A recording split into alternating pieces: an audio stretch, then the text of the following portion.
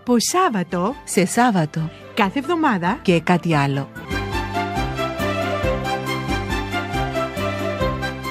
Αυτό το Σάββατο μαζί σας η Βάσο Πελεγκάρη.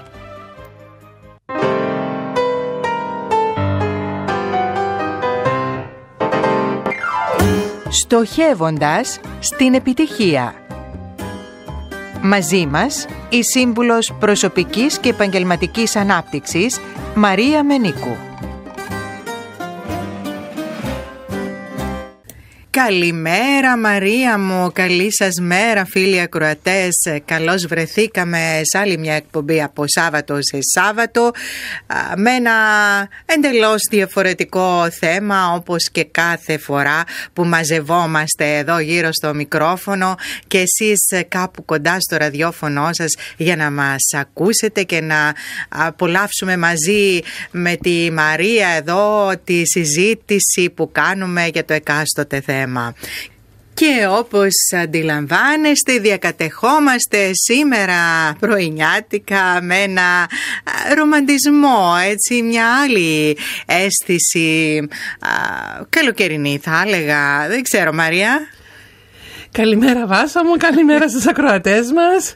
Νομίζω το αίσθημα του έρωτα και του πάθους σε έχει παρασύρει σε ενθουσιασμό, χαρά, ε, και έτσι μια ανεβασμένη διάθεση που νομίζω όλοι τη χρειαζόμαστε ε, Σάββατο πρωί έτσι ώστε να μας δώσει όθηση χαρά όχι μόνο για τη μέρα μας σήμερα αλλά και για το Σαββατοκυριακό μας και τη βδομάδα που ακολουθεί.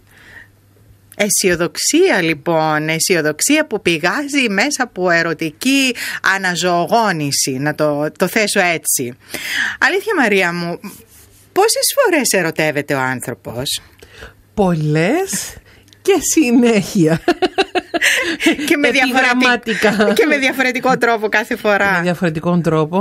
Και εδώ να αναφέρω, βάσω μου, μια λάθος αντίληψη που έχει ο περισσότερος κόσμος ότι ο ερώτας είναι καθαρά με το αντίθετο φύλλο. Όχι, ερωτευόμαστε τη ζωή, ερωτευόμαστε ένα στόχο, ερωτευόμαστε μια στιγμή, ερωτευόμαστε ένα λουλούδι, ερωτευόμαστε το ηλιοβασίλεμα. Ε, ε, ο έρωτας εκφράζεται με πολλαπλούς τρόπους ε, σε πολλά σημεία της καθημερινότητας μας άρα πάρα πολύ σημαντικό να αφαιθούμε, να εμπιστευτούμε, να ερωτευτούμε. Ουσιαστικά να το, βάλω, να το θέσω λίγο διαφορετικά. Ο έρωτας είναι το πάθος για ζωή.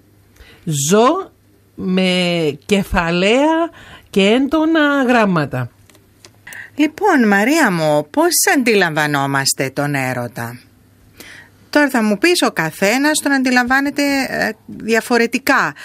Όμως τι είναι αυτό το κάτι τέλος πάντων που σε κάνει να αντιληφθείς ότι είσαι ερωτευμένη με κάποιον ή με κάτι; Καταρχήν δεν υπάρχει λογική στον έρωτα. Δεν είναι το μυαλό που σκέφτεται αλλά η καρδιά. Η καρδιά σκέφτεται έντονα με ακαθόριστους γρήγορους τρελούς ρυθμούς. Άρα με την καρδιά το αντιλαμβανόμαστε και όχι με το μυαλό, ε. Το μυαλό δεν λειτουργά βάσο όμως δεν, λειτουργά, δεν λειτουργά το μυαλό. Τυφλό τον λένε. Δηλαδή αυτός ο έρωτας είναι ένα περίεργο πράγμα. Ε, Εγώ θεωρώ ότι είναι το πιο όμορφο συνέστημα της ζωής. Γι' αυτό έχω αναφέρει και πριν ότι ζούμε με κεφαλαία και έντονα γράμματα. Δηλαδή ζωή ε, Άρα ε, πάθος, ένταση, ενθουσιασμός, ε, φλόγα για το ποθούμενο ε, του έρωτα μας. Άρα είναι ένα συνέστημα το οποίο πιστεύω κάθε ένας αξίζει να το ζήσει. Ε, πιστεύω ότι αξίζει να το ζήσουμε με, σε, στην πολυδιάστατη ε, εμπειρία του που υπάρχει και μπορούμε να το γευτούμε όχι μόνο με έναν άλλον άτομο αλλά και μέσα από άλλα πρίσματα όπως έρωτας για το στόχο μας, έρωτας για τη ζωή, έρωτας για τη φύση, άρα ε, αξίζει να ερωτευτούμε. Είναι ο έρωτας που θα μας ε, κινήσει, να δημιουργήσουμε, να χτίσουμε, ε, να εφαρμόσουμε, να αναζητήσουμε, να θέλουμε να μάθουμε, να θέλουμε να βελτιωθούμε, να θέλουμε να ανακαλύψουμε. ε, είναι το συνέστημα, αυτό το έντονο συνέστημα ε, της αύξησης του ενθουσιασμού ε, που προκαλεί τη ζωή, που προκαλεί τη δημιουργία, που προκαλεί την αύξηση. Εδώ Μαρία μου υπάρχει μία διαφορά μεταξύ των ανθρώπων που ερωτεύονται μιλάμε για άτομο και μεταξύ του έρωτα για κάποια πράγματα όπως είναι η φύση, όπως είναι οι εποχές, προσωπικά λατρεύω την Άνοιξη, ε, όπως είναι ένα οτιδήποτε τέλος πάντων να κάνει την καρδιά μας έτσι να, ε, να πάλετε να χρησιμοποιήσω αυτή τη λέξη. Λοιπόν ε, εξήγησε μας ε, λίγο αυτή τη διαφορά Μαρία. Ε, γιατί καμιά φορά είναι και μονόδρομος αυτός ο έρωτας. Όσον αφορά πράγματα τα ερωτεύεσαι από μόνη σου και δεν περιμένεις ανταπόκριση, δεν περιμένεις να έρθει η άνοιξη και να σου πει σε ερωτεύω, σε αγαπάω κι εγώ ας πούμε. Ε, όμως όσον αφορά ε, ανθρώπους, άτομα, ε, εδώ υπάρχει ένα άλλο είδος, μια άλλη κατηγορία ε, συναισθημάτων θα έλεγα ε, και όπως είπα και πριν μπορεί να είναι μονόδρομος ή μπορεί να είναι αμοιβαίο και τυχεροί όποιος το ζεις, ε, τυχεροί όποιοι το ζήσουν αυτό. Ε, θα, θα ήθελα έτσι τη δική σου α, πινελιά στο όλο ζήτημα. Ε, να πιάσουμε πρώτο το κομμάτι της φύσης, ε, των, των στόχων, της πορείας στη ζωή. Ε, εδώ θεωρώ ότι είναι προϋπόθεση έναν άτομο στο να μπορέσει ε, να αγαπήσει τον εαυτόν του αρκετά έτσι ώστε να απελευθερώσει τα κομμάτια που τον δεσμεύουν μέσα στα οποιαδήποτε θέματα και προκλήσεις της καθημερινότητας του και να ξεκινήσει να απολαμβάνει. Το να μπορέσω να ρωτευτώ πράγματα όπως τη φύση, ε, τα ζώα, την καθημερινότητα μου, ε, την εναλλαγή της ζωής, το ηλιοβασίλεμα, τα λουλούδια, τα δέντρα ε, προϋποθέτει έναν επίπεδο αυτοαγάπης, ε, αναζήτησης ε, πόθου, αντικείμενων πόθου ε, πέραν από τον εαυτό μου που δεν είναι άριστα συνδεδεμένο με έναν άλλον άτομο αλλά με μια κατάσταση, με τη ζωή την ίδια. Ε, και θεωρώ ότι είναι θεμητόν όλοι να μπορέσουμε να το ζήσουμε για να φτάσουμε το, το κομμάτι. Ε, η ζωή είναι αντιγραφή το τι συμβαίνει μέσα μας. Άρα εκείνο το οποίο έχουμε την ικανότητα να δούμε, να αντιληφθούμε, να μπορέσουμε να δούμε το τι συμβαίνει γύρω μας, ε, τότε σημαίνει ότι έχω ήδη δημιουργήσει και καλύψει μια πορεία προσωπικής ανάπτυξης, αυτοαγάπης, αυτοσεβασμού, Άρα δίνω την ευκαιρία στον εαυτό μου να μπορέσει να δει όλα τα όμορφα, τα υπέροχα τα οποία υπάρχουν γύρω μου και όχι μόνο να τα ε, εντοπίσω, αλλά να μπορέσω να ερωτευτώ, να μπορέσω να ξεκινήσω έναν ταξίδι, ε, αν μπορέσω να το πω, απόλαυσης, ε, να γευτώ τα όμορφα της ζωής, ε, να μπορέσω να ζήσω τη στιγμή, δηλαδή να απαγκιστρωθώ από καταστάσεις που με κρατούν στο παρελθόν ή ανησυχίες του μέλλοντος και να μπορέσω να ζήσω τούτη τη στιγμή. Να μπορέσω να αγαπήσω και το οποίο κάνω. κάνω. Να βάλω τη ψυχή μου στην κάθε στιγμή. Δηλαδή καλή ώρα καθόμαστε εδώ. Πώς μπορώ να είμαι παρόν εδώ σε αυτή τη συζήτηση που κάνουμε έτσι ώστε να μπορέσω να απολαύσω το χρόνο μου μαζί με τη φίλη τη Βάσο και με την παρέα των ακροατών που μας ακούν. Άρα πώς μπορώ να, να μπορέσω να αγαπήσω, να παθιαστώ; Και άλλωστε Βάσο μου βλέπουμε και το αποτέλεσμα του πόθου και του έρωτα στη δημιουργία. σίγουρα υπάρχει πάρα πολλοί κόσμος ο οποίος ασχολείται με διάφορη μορφής δημιουργία ε, έκθεσης του εσωτερικού τους κόσμου με πολλούς τρόπους όπως ε, τέχνη, μουσική, χορός, γράψιμο. Εκεί που υπάρχει ο έρωτας που εκφράζεται μέσα από τη συγκεκριμένη νοδό, τότε βλέπουμε και τα αριστουργήματα τα οποία απολαμβάνουμε. Το θέμα είναι να βρει αυτήν την τη δίωδο ε, ο έρωτας να μπορέσει να εκφραστεί, να δει το φως του ήλιου έτσι ώστε να μπορέσουμε να το απολαύσουμε όλοι. Και ό,τι απολαμβάνουμε και βλέπουμε ότι είναι όμορφο, να γνωρίζουμε ότι πίσω από αυτό είναι η έκφραση του δημιουργού του μέσα από τον έρωτα, το πάθος, ε, η, η, διαδικασία του να πάλεται η καρδιά ε, στο συνέστημα της δημιουργίας. Η έπαρση ε, και η έκσταση των συναισθημάτων μέσα από μια διαδικασία δημιουργίας. Ας επικεντρωθούμε τώρα Μαρία μου στη ανθρώπινη πλευρά του έρωτα, αυτή που έχει να κάνει σε σχέση με άλλους ανθρώπους. Ό,τι καταλαβαίνει κάποιος, ότι αυτός ο έρωτας που τρέφει για κάποιον άλλον είναι υγιής ή αν υπάρχει ένας αλληλένδετος, ένας έρωτας με υγιές παρεδώσε. Καλώς ή κακώς εδώ να ερωτευτούμε δεν είναι εύκολο ή ήδη να κατανοήσουμε αν είναι υγιής ή όχι, εκτός και αν φτάσουμε σε οριακά σημεία το πρώτο το οποίο θέλω να δούμε είναι το ότι ξεκινούμε με υγιή σχέση με τον εαυτό μας, μια καλή σχέση με εμάς τους ίδιους, γιατί οι σχέσεις που έχουμε με τον εαυτό μας αντανακλούν σε όλα τα επίπεδα των σχέσεων μας, τόσο ερωτικές όσο και διαπροσωπικές, αλλά και στο κομμάτι της δημιουργίας α, ε, της δουλειάς μας, α, ε, καλλιτεχνικής δημιουργίας, στο οποιοδήποτε κομμάτι δημιουργίας. Άρα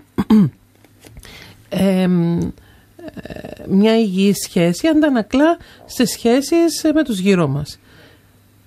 Τι σχέση έχω με τον εαυτό μου; Αν αναζητώ σχέσεις που θα μου επιβεβαιώσουν ή θα μου γεμίσουν τα εσωτερικά μου κενά; Ή αναζητώ σχέσεις που μαζί χέρι-χέρι θα αναπτυχθούμε και θα προχωρήσουμε; Είτε αντιλαμβανόμαστε είτε όχι, ελκύουμε, όπως ελκύουμε στα άλλα όλα, το ίδιο και στις ερωτικές μας σχέσεις.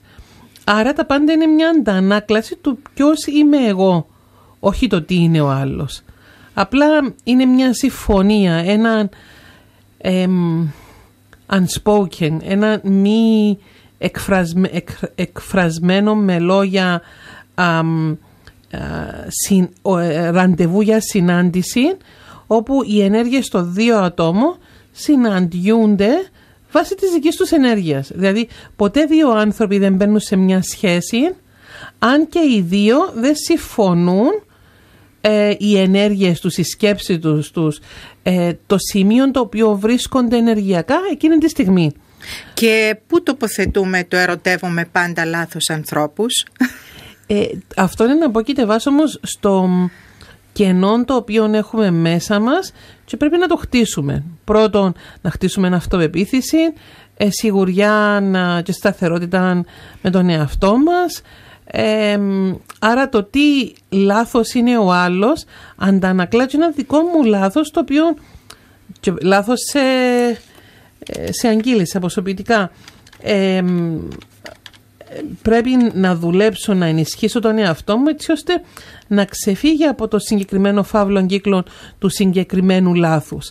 Άρα να μπορέσω να ενισχύσω τον εαυτό μου, να τον αναπτύξω, να τον ενδυναμώσω έτσι ώστε να δίνει ραντεβού εκείνα τα μη εκφρασμένα με λόγια ε, ραντεβού ε, με διαφορετικά άτομα Άρα τι είναι το σωστό για μας; Για κάποιον άτομο π.χ. να είναι με έναν άτομο που τον κάνει να νιώθει καλά, μπορούν να δημιουργήσουν, να χτίσουν, επιθυμούν τα ίδια πράγματα. Άρα ενδυναμώνω τον εαυτό μου έτσι ώστε να τον πάρω στο επόμενο του στάδιο, το επόμενο βήμα στη ζωή, έτσι ώστε εκεί όπως προχωρούμε να ξεκινήσουμε να συναντούμε διαφορετικά άτομα.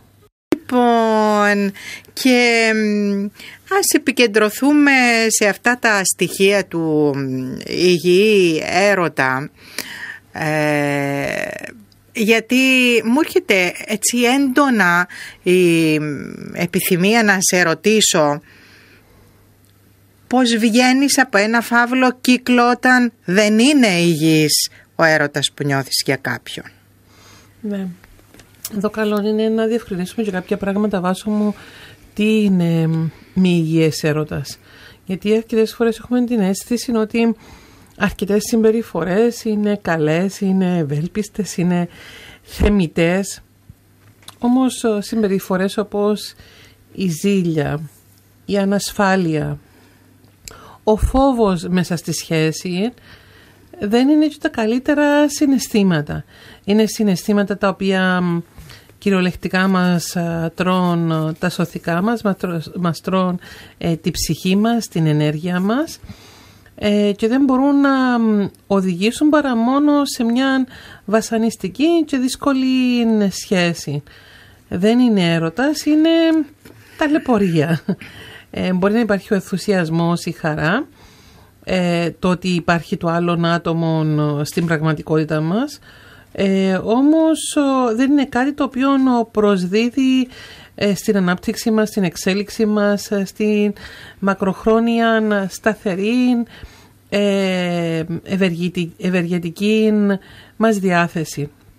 Άρα είναι σημαντικό να γνωρίζουμε όπως μη ευχαριστά συναισθήματα τα οποία γεννιούνται μέσα από μια σχέση δεν μπορούν ε, να μας βοηθήσουν τόσο να εξελιχθούμε αλλά και να εξελιχθεί και η σχέση ε, μαζί με τη δική μας την εξέλιξη. Τώρα κάποιος θα αναρωτηθεί μια ερωτική σχέση ε, δεν έχει τα πάνω της και τα κάτω της. Σίγουρα τα έχει. Είναι δύο άνθρωποι που έρχονται μαζί από διαφορετικών παρελθόν, διαφορετικών τρόπο σκέψης, διαφορετική πιθανόν καθημερινότητα, διαφορετικές εμπειρίες, διαφορετικές προκλήσεις καθημερινές και καλούνται να περάσουν είτε κάποιες ώρες μαζί να είναι ζευγάρι ε, ή αν είναι παντρεμένοι και είναι κάτω από την ίδια στέγη στο να μπορέσουν να μοιραστούν, να χτίσουν και να δημιουργήσουν μαζί. Άρα σίγουρα υπάρχουν οι προκλήσεις, ε, αλλά όταν αυτά φτάνουν σε συναισθήματα ακραία, σε συναισθήματα ανασφάλειας, σε συναισθήματα που βγάζουν υποψίες, πόνο, φόβο, ανασφάλεια, θυμό, ζήλια, τότε είναι καλύτερα να κάνουμε ένα βήμα πίσω και να αναρωτηθούμε είναι όντως ε, πραγματική αγάπη και έρωτας. Καμιά φορά, αγαπητή μου Βάσο, υπάρχει έντονη έλξη, έντονη ε, πόλωση, ε, σε έναν άτομο γιατί πολύ πιθανόν το άτομο δεν ενδυνάμωσε αρκετά τον εαυτό του έτσι ώστε να μπορέσει να στηριχτεί στα πόδια του και να αναζητήσει μια πιο υγιή, μια πιο σταθερή σχέση.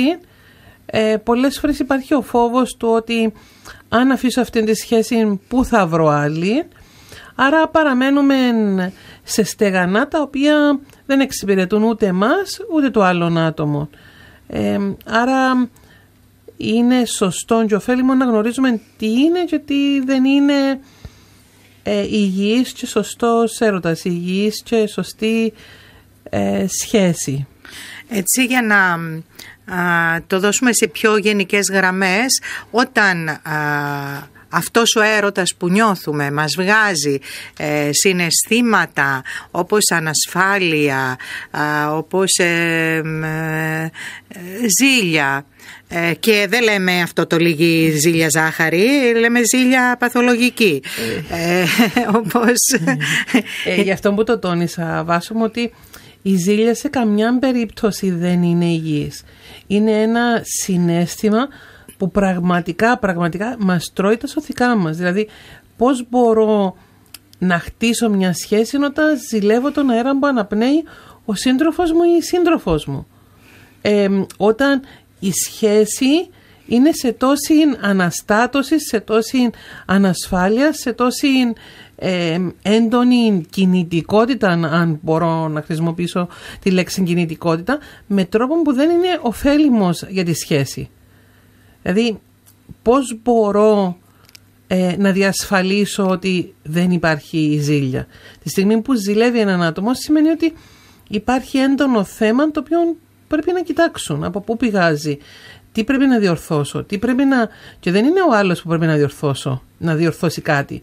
Αν, αν όμως είναι ο άλλος που το προκαλεί αυτό το συνέστημα της ζήλιας για τους δικούς του λόγους; Ε, βάσο μου εδώ θα, το, θα πω κάθετα ότι φταίνει και οι δύο. Και όχι με την έννοια κάνει ο άλλος κάτι, ο άλλος το προκαλεί. Τη στιγμή που δεν με σέβεται και πιθανόν, πιθανόν λέω ένα σενάριο, ε, χρησιμοποιά συμπεριφορές ε, και καταστάσεις ε, και δημιουργά γεγονότα τα οποία δεν είναι ωφέλιμα για τη σχέση και προκαλούν ζήλια στο άλλον άτομο, ε, πολύ σωστό είναι να διακοπεί συγκεκριμένη σχέση. Γιατί αν και οι δύο δεν φροντίζουν τη συναισθηματική πληρότητα, δεν φροντίζουν τη σχέση, δεν φροντίζουν στο να προστατεύσουν τη σχέση τους, μέσα από τη δική μου οπτική γωνία δεν υπάρχει λόγος να είναι μαζί του οι δύο άνθρωποι. Να έχω δεσμευμένον έναν άλλον άνθρωπο. Για ποιο λόγο τη στιγμή που έχω ανάγκη να τραφεί η δική μου, ο δικός μου εγωισμός ε, χτίζοντας ή προκαλώντας τον ή την σύντροφο μου.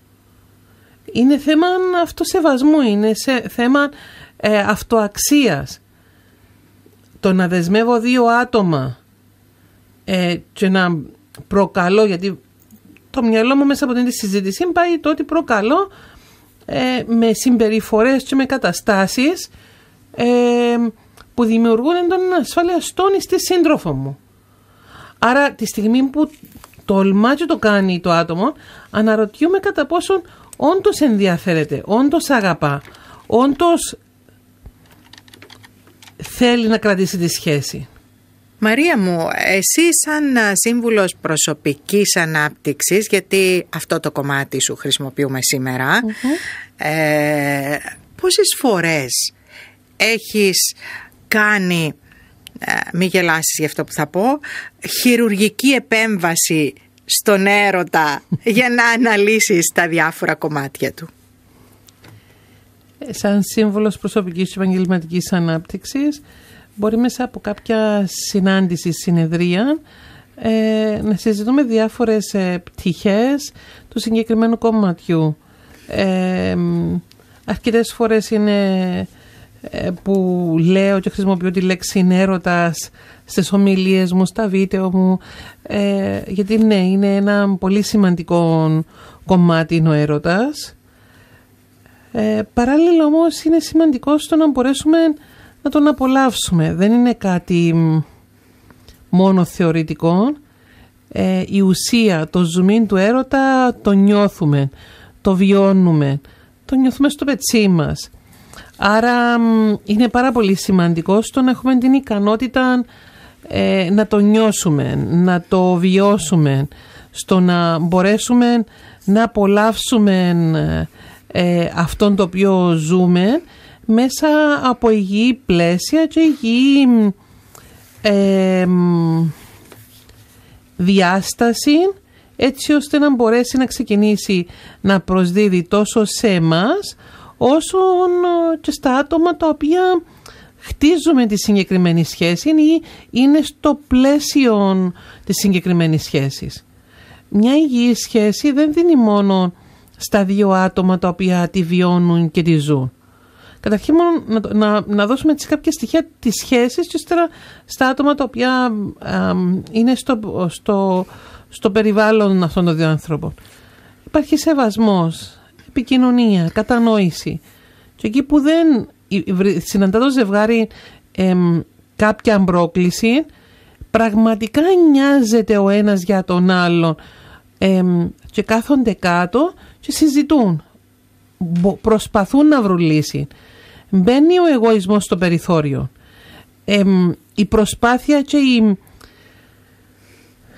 πώς να το πούμε, η, η διάθεση, η, η πρόθεση είναι στο να λειτουργήσει η σχέση.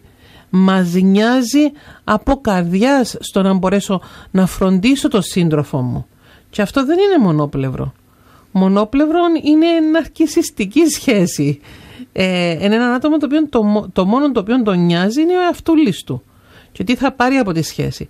Εδώ μιλούμε για υγιή σχέση, για υγιή αγάπη, για υγιή έρωτα, για υγιή ε, σχέση η οποία έρχονται μαζί δύο άτομα, το πάντρεμα των δύο ψυχών ξεκινά μια ανάπτυξη ε, και των δύο έτσι ώστε ο ένας τραβά τον άλλον προς τα πάνω έτσι ώστε να μπορέσουν να δημιουργήσουν, να χτίσουν, να αναπτυχθούν μέσα από τη συγκεκριμένη σχέση.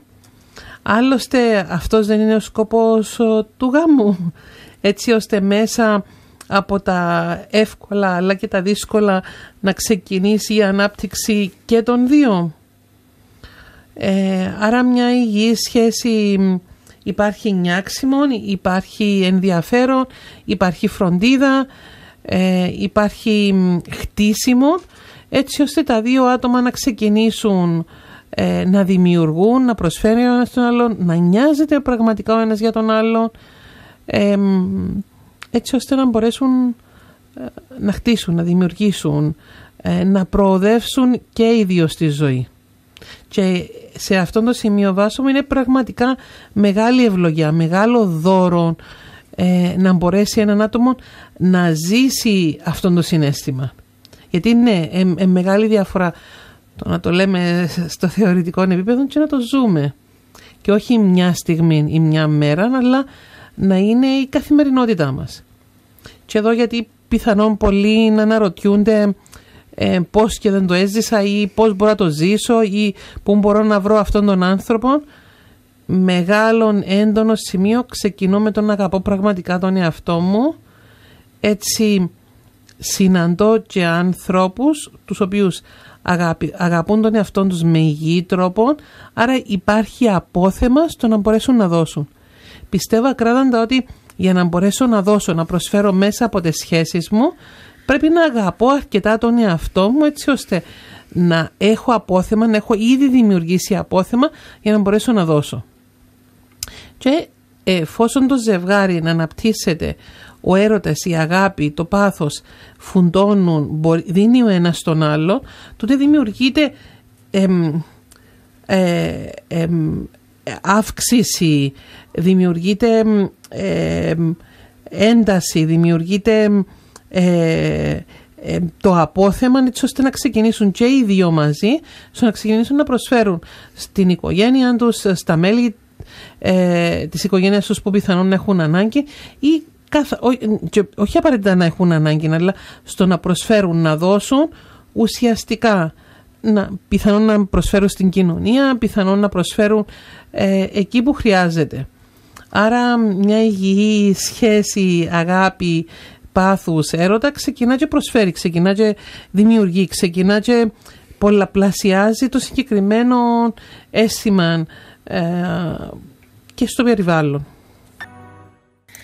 Και προχωρούμε σιγά σιγά προς το τέλος της ε, εκπομπής μας ε, Μαρία μου. Θα ήθελα στο σημείο αυτό να μας πεις έτσι σε γενικές γραμμές τα όσα περιέρωτα είπαμε σήμερα. Ναι, ναι, τα όμορφα περιέρωτα. Τα όμορφα περιέρωτα. Ο έρωτας έχει πολλά χρώματα, πολλούς τόνους, ε, πολλές διαφορετικές μορφές τις οποίες ε, εκφράζεται.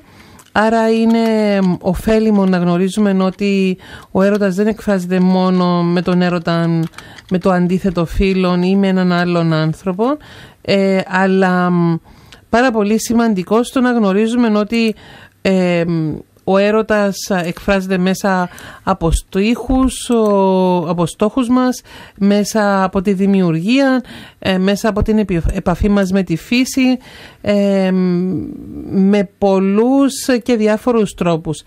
Πάρα πολύ σημαντικό να αφαιθούμε, πάρα πολύ σημαντικό να εμπιστευτούμε και να αγαπήσουμε ε, μέσα από το πρίσμα της ζωής ε, και σίγουρα μέσα από την τη διάσταση μπορούμε να είμαστε πολύ πιο ευτυχισμένοι και χαρούμενοι. Άρα αυτό το οποίο ενθαρρύνω τους ακροατές μας είναι να ξεκινήσουν πραγματικά να αγαπούν τον εαυτό τους ε, μέσα από την ε, αυτοαγάπη και αυτοσεβασμό, αυτοπεποίθηση, ε, ψηλή αυτοεικόνα, να μπορέσουν να δημιουργήσουν το απόθεμα να αγαπήσουν τόσο τη ζωή όσο και τον ή την σύντροφο τους, σύζυγον τους στη ζωή. Άρα είναι ένα όμορφο ταξίδι το οποίο ε, εθαρρύνω τον κάθε ένα να το δοκιμάσει. Ε, άλλωστε η ζωή είναι έρωτας και ο έρωτας είναι ζωή. Και ένα τραγούδι λέει πως ο έρωτας είναι Έλληνας και ελληνικά μιλάει, Μαρία μου. Ακριβώς, ακριβώς. και αυτό το σημείο να δώσουμε ένα τηλέφωνο επικοινωνίας ναι. τους ακροατές μας 707888 θα χαρώ να συνομιλήσω μαζί σας τηλεφωνικώς 7078-88 και να ευχηθώ έρωτα και πάθος για τη ζωή. Καλή σας μέρα.